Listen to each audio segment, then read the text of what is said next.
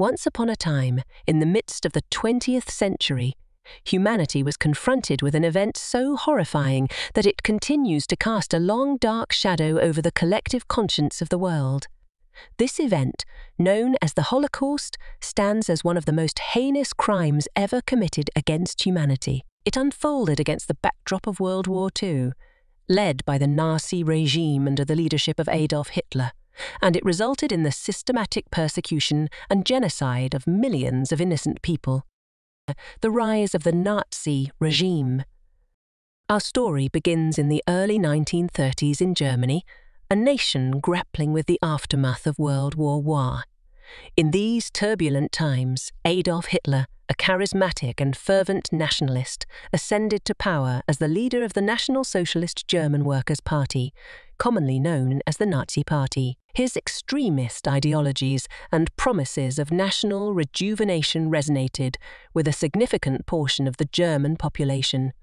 In 1933, Hitler was appointed as Chancellor, consolidating his grip on the nation, his anti Semitic propaganda and laws. Under Hitler's leadership, the Nazi regime quickly implemented a series of anti Semitic policies.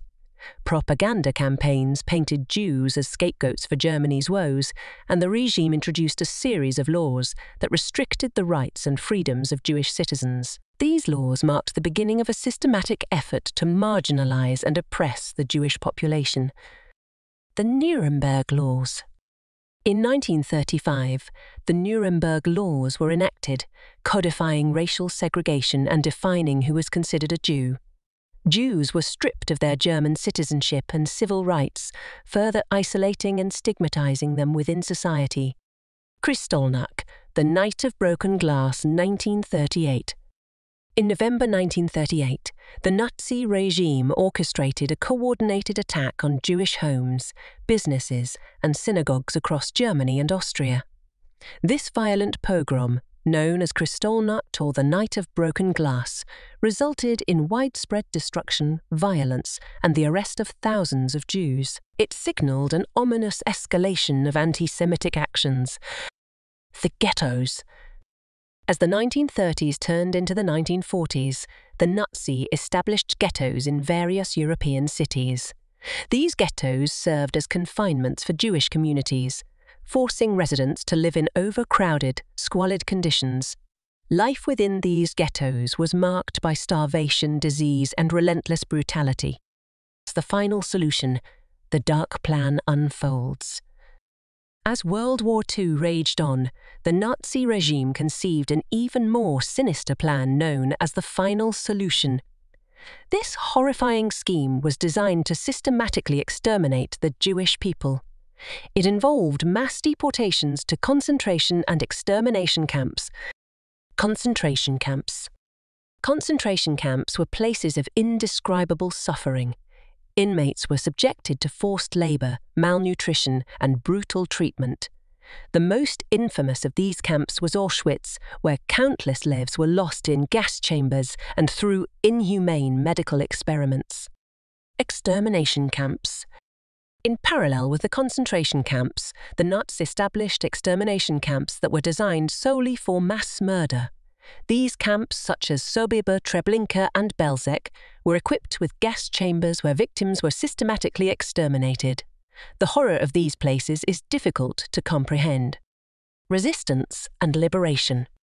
Despite the overwhelming odds against them, some inmates within the camps organized resistance movements Inmates like Jan Karski and Witold Pilecki managed to escape and spread the truth about the Holocaust to the outside world. As Allied forces advanced, they began to grasp the enormity of the tragedy. The liberation of concentration and extermination camps by Allied forces uncovered mass graves, emaciated survivors, and the undeniable evidence of genocide. The Nuremberg trials, in the aftermath of World War II, the international community held the Nuremberg Trials, a series of military tribunals to prosecute major Nazi war criminals. Many high ranking Nazi officials faced justice for their role in the genocide. These trials aimed not only to bring perpetrators to account, but also to establish a legal precedent for addressing war crimes and crimes against humanity on an international scale. The Universal Declaration of Human Rights. In the wake of the Holocaust and World War II, the United Nations adopted the Universal Declaration of Human Rights in 1948. This historic document laid out fundamental human rights and freedoms that should be protected for all people, regardless of their background. Holocaust Remembrance The memory of the Holocaust is preserved through various memorials, museums, and educational programs worldwide. Institutions such as Yad Vashem in Israel, the United States Holocaust Memorial Museum in Washington, D.C., and the Auschwitz-Birkenau State Museum in Poland play a crucial role in ensuring that the lessons of the Holocaust are never forgotten. Education and never again. The phrase never again emerged as a global commitment to preventing such atrocities from happening in the future. Education is a vital tool in raising awareness and understanding of the Holocaust, with schools, universities, and organizations striving to teach the history and lessons of the Holocaust to future generations.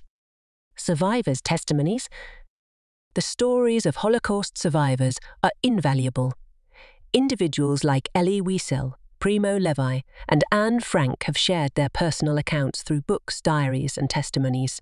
These accounts offer a first hand perspective on the horrors endured and the indomitable spirit that allowed some to survive and bear witness. The rebuilding of Jewish communities. Following the Holocaust, Jewish communities worldwide faced the immense task of rebuilding their lives.